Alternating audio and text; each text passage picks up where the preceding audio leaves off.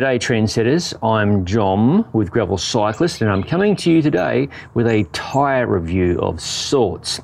Effective the time and date of the release of this video, WTB has announced their new SG2 puncture protection technology, which features in tyres measuring bigger than 37 millimeters in width. SG stands for Slash Guard and is a development of their existing mountain bike technology. The new configuration feature 120 TPI casings and the SG2 technology, which is a lightweight and ultra thin nylon insert that provides bead to bead coverage no area of the tyre is left unprotected. To keep the weight down, WTB claimed the nylon fibres of the B2B insert reduces the amount of rubber required to fill the gaps between those fibres versus traditional puncture protection layers and round fibres. That's quite techy. WTB also claims the tyre remains more lively due to decreased material in the tyre casing. So in other words, the casings have not increased in thickness and they also claim that this technology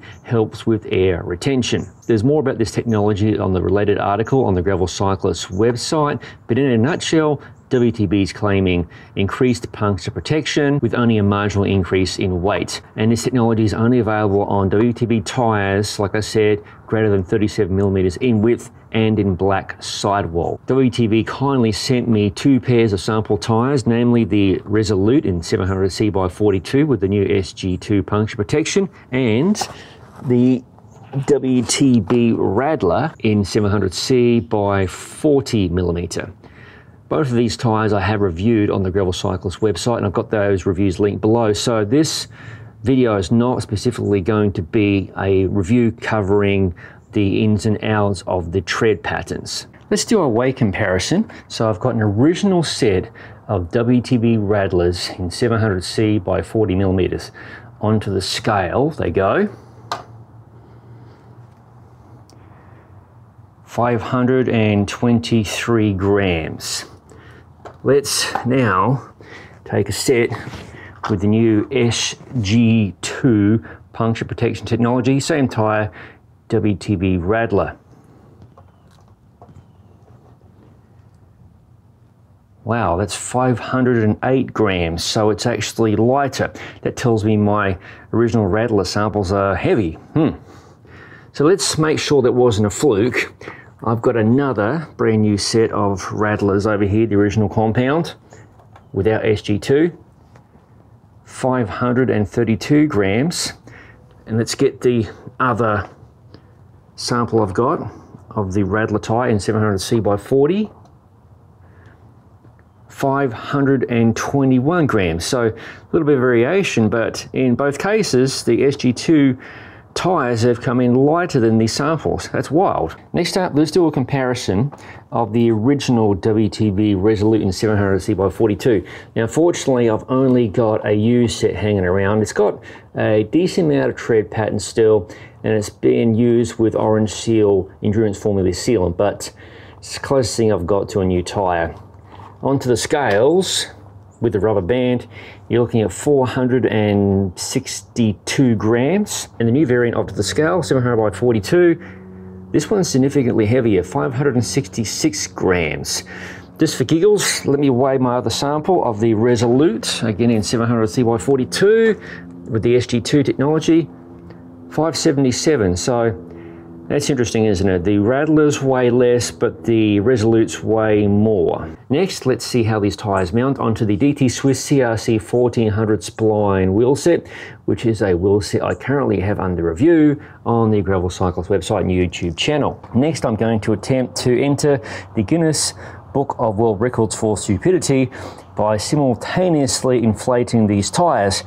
One is the new Resolute, one is the new Raddler, Okay, let's try this. Never done it before. Hopefully they both pop. Here we go.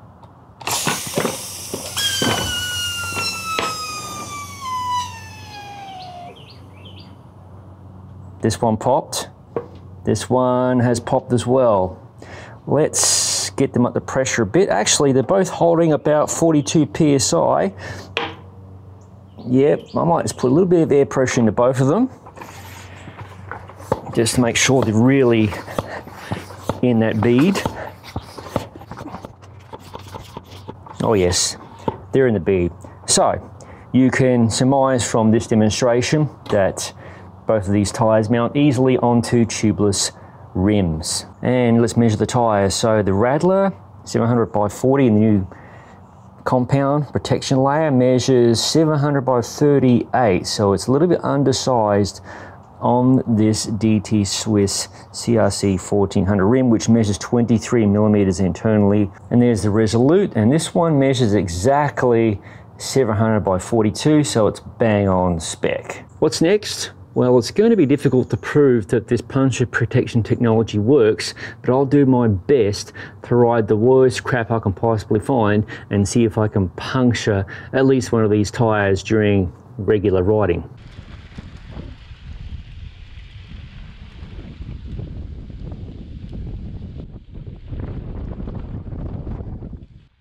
The tread pattern has not changed.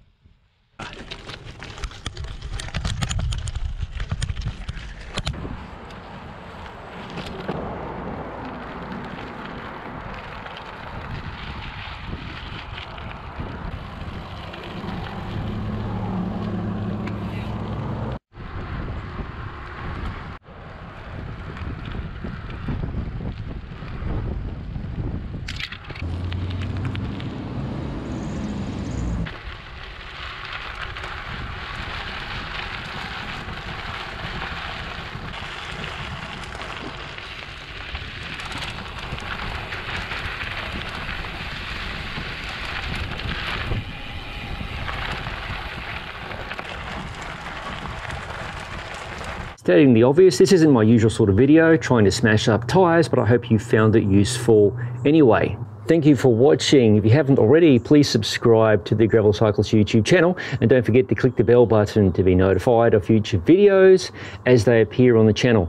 I've got heaps more content, ride videos, reviews, all sorts of crazy stuff. Tell your mates, tell your friends, tell your family. I'll see you in the next video.